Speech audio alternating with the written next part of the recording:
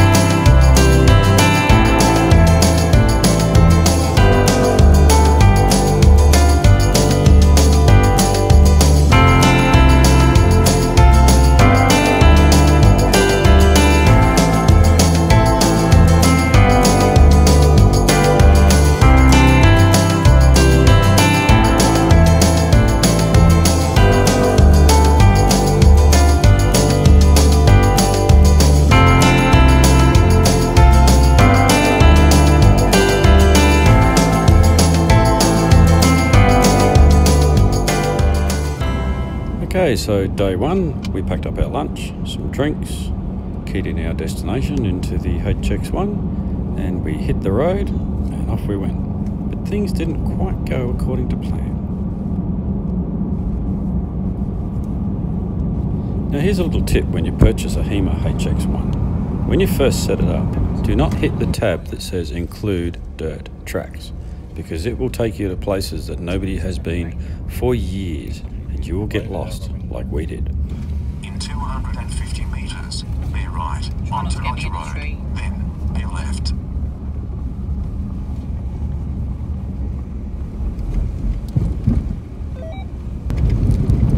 That's what worries me. I'm sure we are. Of course we are. No, well, I've just keyed in the name of the road that takes you there, which is Ritter Road. As usual, the video doesn't do this hill justice, but the old HJ45 made it up quite easily. And we did manage to find some tracks to play on anyway, despite getting lost.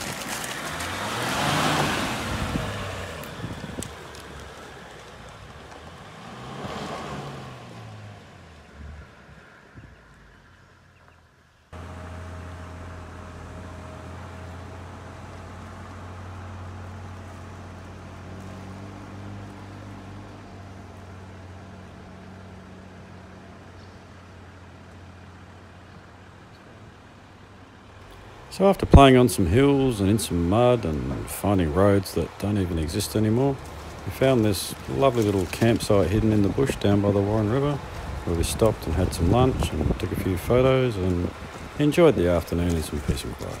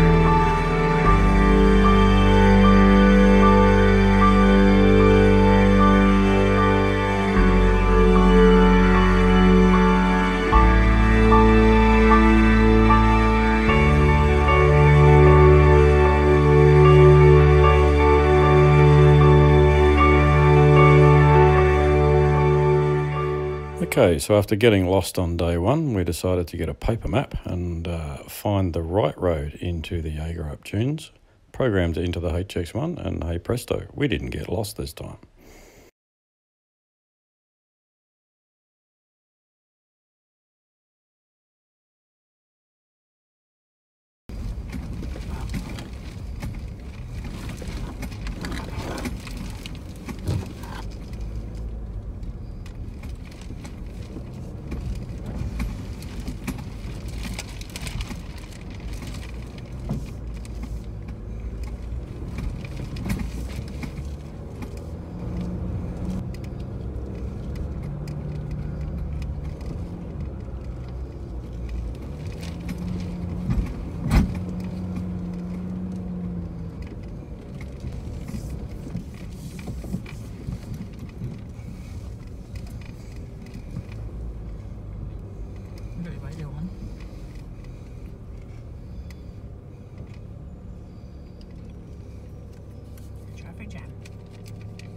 Now, the reason for this traffic jam was this Cherokee was stuck on the hill.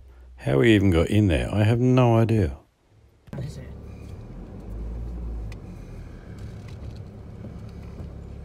Did he get over? Did he get over? Yeah, cool. Foot down a bit more, babe. Oh, not safe. keep going, keep going, keep going, keep going, keep going. Keep going, keep going, keep going, keep going. There you go. You were going to let off, weren't you? And with a little bit of encouragement from the wife, we made it over quite easily. Oh, what's he doing? Where are you going? You just urging on ahead. That's a Subi. See the Forester got up there? It's funny because the car is well old.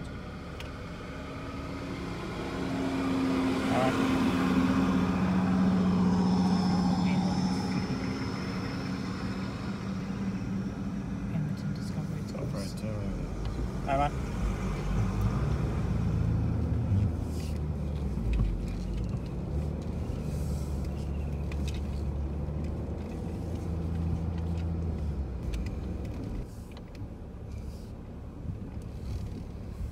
So here we came across our second traffic jam for the day. Guy in a Challenger was struggling to get up the hill. Tried a few times, and with a little bit of encouragement for us, we got him up the hill.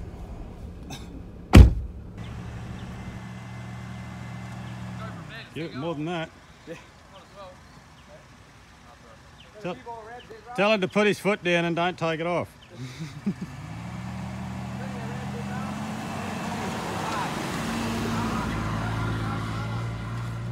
Yeah, that's it. Here we go. Stop the car, keep going. Yes, he's through. Now this guy was going nowhere fast, so we advised him to back it back down, let a bit more air out of his tyres, and try it again. We're pretty sure he made it over.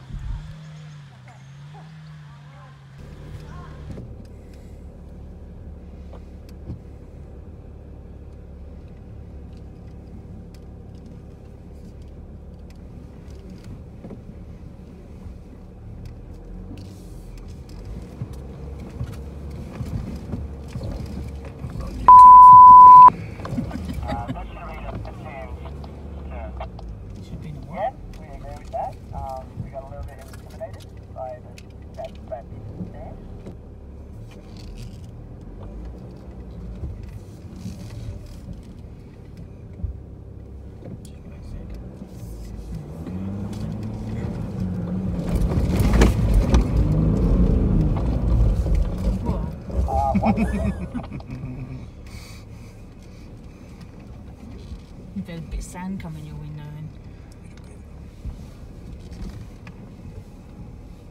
Oh, look at that. Derby. Oh, Derby on me.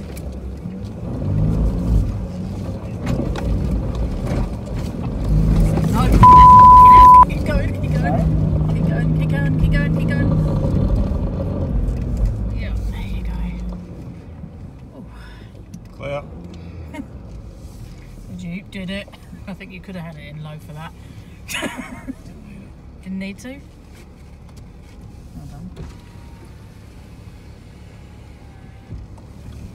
And after a bit more encouragement from the wife, we made it over the last sand dune and down onto the beach. And all I can say is, wow, what a view. What an amazing beach. Also, I advise that you don't stop here because it's pretty soft, as we found out on the way back.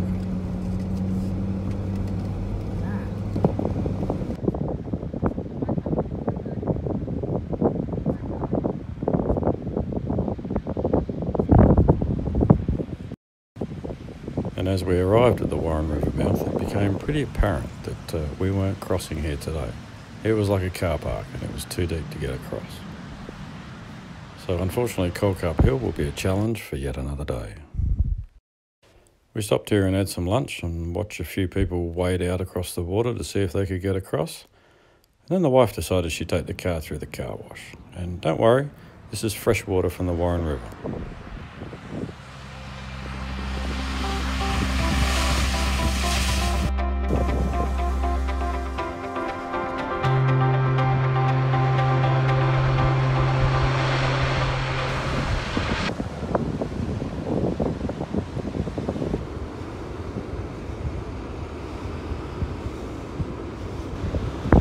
Okay, so as I alluded to you earlier, this is the reason why you do not stop at the entry point, the exit point to Yeagarup Beach. It's very soft, and I thought I'd video the wife exiting the beach, and this is what happened. So I tried to get myself out using all my recovery gear, shifted about half a ton of sand, but uh, the Jeep was down on its belly, and it was going absolutely nowhere.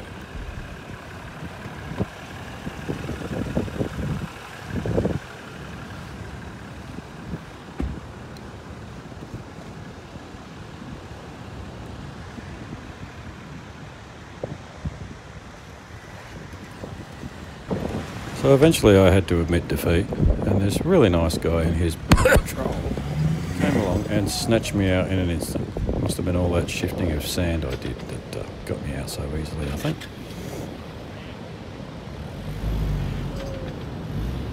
That's all good. Hey babe, stop. Oh yeah, he's got him, sorry.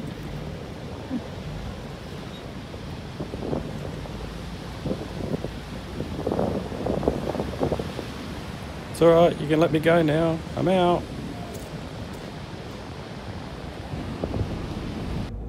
Okay, so the next challenge was this June, and this was our fourth attempt to get over it. And with a big enough run up, we eventually did get over it. Now, I'm not quite sure if the wife's squeal at the end of it was her excitement of us Well, he got finally getting over the dune, or the sheer drop off that was on the other side.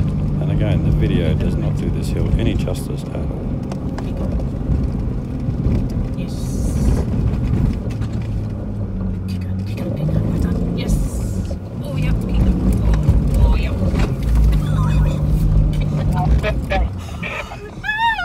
Woo! Can't see. That's all right. We're okay.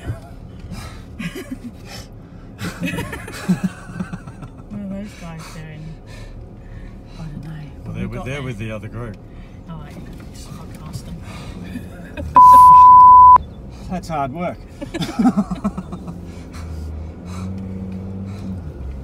What an hour. Want to get here. out? He might have stopped somewhere on Messing around for a while somewhere. I can tell you that this part of the Yeagarup Dune system is just an amazing piece of scenery. others? It's like driving on the Mitchell Freeway without the black stuff and without all the congestion. It's just amazing. And you need a four wheel drive to get up here, but geez, you just got to do it. You just got to get out there and see it. So I'll shut up now and I'll leave you with some music for the rest of the drive home.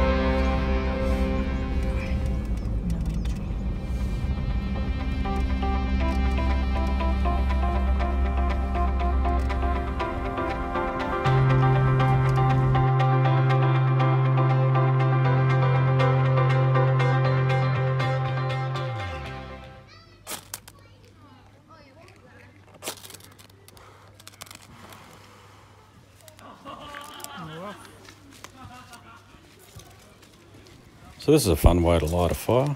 The good old flint. I think I've been watching too much of Ronnie and Harry starting campfires in the bush. But never mind, do yourself a favour, get yourself one of these, and you'll be setting fire to toilet paper for days. It's awesome. Anyway, I'll leave you with some more music and the rest of the video, and hopefully we'll see you next time. Oh, and all our trip videos will now be available on this channel, so if you like, hit the subscribe button. You'll get to see them all, and I hope you've enjoyed them. Tchau.